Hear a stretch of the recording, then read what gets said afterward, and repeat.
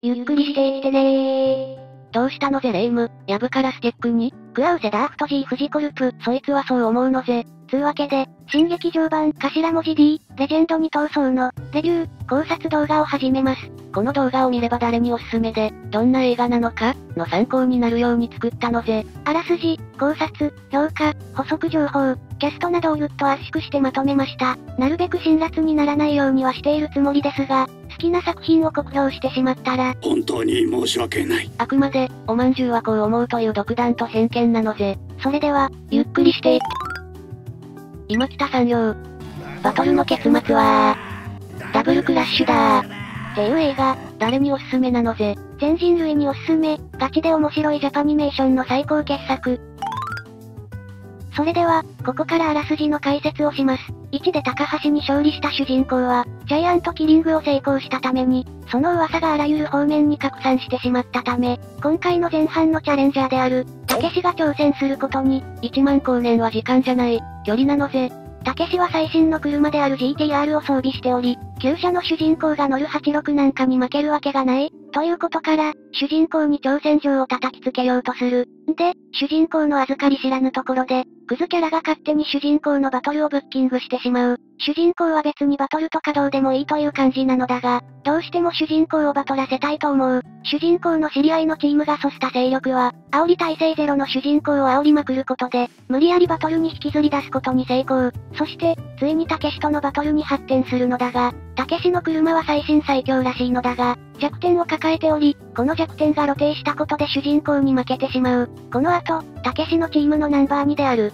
この映画におけるヒロインである庄司慎吾が、チームのナンバーワンのたけしが主人公に負けたことで、ワンチャン主人公を倒せば俺がこのチームのてっぺん狙えるんじゃね？というスケベ心から、チームがソスタの雑魚を煽りプレイして倒し、主人公をバトルに引きずり出すことに成功。この後、主人公とのガムテープデスマッチを行うことに、果たして勝つのはアイドル、庄司慎吾なのか、というシナリオ。はい。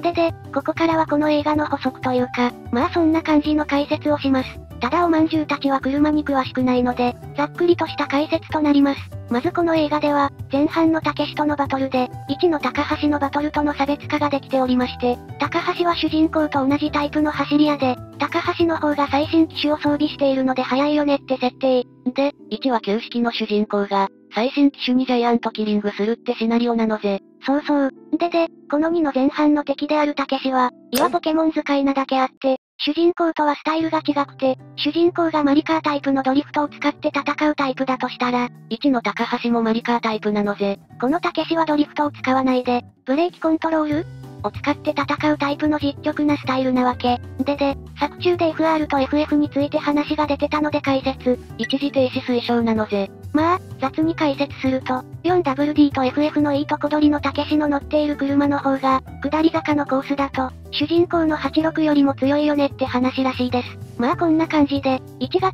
例えば人影 VS リザードンとのバトルマッチだとしたら、2は人影 VS ゴローニャの戦いみたいな感じでしょうか？たけしはドリフトをしないのぜ。このシーンとかね、この映画って本当に芸が細かくよくできているんだけど、ちゃんとたけしはドリフトしないけど、主人公と高橋兄はドリフトするわけ。映像でも差別化をしっかり見せているのぜ。すげえのぜ。まあそんな感じで、たとえ、ドリフトしない敵でも、主人公の方が強強だよって設定が差別化できておりベネです。で次に、この映画ではメインバトルのガムテープデスマッチってのがあって、片手をガムテープで縛ってバトルするっていうぶっ飛んだ戦いなんだけど、これはまあ、この映画の愛されキャラである、庄司信号をいかに萌えキャラに見せるか？ってシナリオで、最後のオチといい、ガチで面白いし、この映画はぶっしゃけ、正直信号に始まり正直信号に終わると言っても過言ではないくらい、このキャラクターが輝いているし、このキャラクターをたしなむことができたこの映画にリスペクト、という感じの作品。ででで、そんな感じでこの映画はあらすじでも書いたように、デラックスエディションみたいな感じの作品であり、2つのバトルが収録された欲張りセットみたいな作品です。また、前作で、主人公の立ち位置だったりといった基礎的な解説は終わっているので、初めからバトル展開に持ってこれるのでずっと、ブンブンバトルをたしなめる作りになっておりモルトベーネ。例えば1だと、作者節は女子高生34歳の部分とかだったのですが、この映画は前半からフルスロットルで作者節が牙向く感じであり、おまんじゅう的にはこの2が劇場版イニシャル D の中で一番好きです。ちなみにうちらおすすめのこの映画の好きポイントを紹介するのぜ。まずはここ。たけし三角形。次がここ。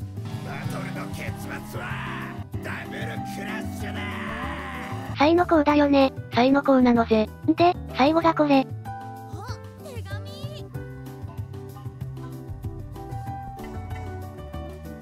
ぶっちぎりのセンスしてるのぜ。感動で震えが止まらないのぜ。この作者はガチでこれがオシャレだと思って、このシーンを作ってる節があって、このシーンだけでもこの作者がモンゲーセンスのある作家だって、はっきりわかんだね。っていうシーンのオンパレードなのぜ。決闘にしかも男に対して男がバラの花を差し出すっていう展開が、本当に熱くて、うわぁ、こいつはすげえや。ってなる胸熱なシーンです。うちらおまんじゅうがどうあんこをひねろうが、出てこないセンスが飛び抜けてる作家なのぜ。いや、もう本当にマジでくっそ激烈に面白いよね。正直信号だけでもポンポンいっぱいなのに、最後にこのバラを差し込んでくるって、どんだけサービス精神旺盛なんだよって感じで、素晴らしいとか、モルトベーネとかそういうんじゃなくてただただ、これ以上の芸術作品は存在し得ないのぜ。この映画はモラトリアムシーンがほぼなくて、ずーっとバトルシーンだけを詰め込んだ欲張り映画であり、萌えキャラも出してポンポンいっぱいだよって感じなんだけど、最後の最後でこのラスボスがバラの花束を持ってくるっていう、最後を全部かっさらう感じがガチで、初めから最後まで一文の隙もない、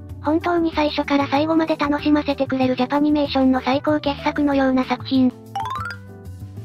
ではでは、最後におまんじゅう的おすすめ度を紹介。おすすめ度は、星1中星5。いやもうね、ポンポンいっぱいというか、本当に満腹以上に食べさせてくれるようなそんな映画であり、最初から最後まで面白いし笑える作品であり、この映画を見れたことに感謝というような作品、後にも先にも、正直信号って感じの作品なのぜ。最後までご視聴ありがとうなのぜ。皆さんはこの映画をどう評価しましたか？皆さんのコメント、感想をお待ちしてます。いいねしてくれたり、ファンになってくれると嬉しいのぜ。それでは、次の動画か夢でお会いしましょう。ラブピー